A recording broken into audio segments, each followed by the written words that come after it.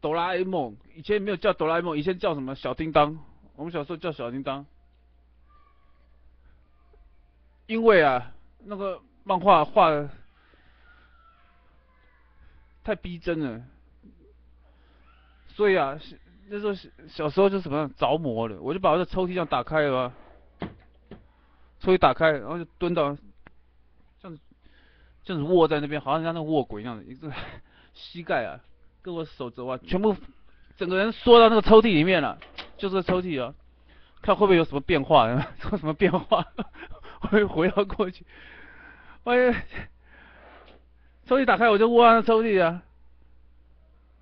时光机嘛，小叮当里面不是有时光机？快握了大概还还很久嘞，还挺久，好几分钟哎。会因为重心不稳的关系哦，整个桌子这样，哐，整个整个人整个桌子这样翻过来，然后人这样叠了一下。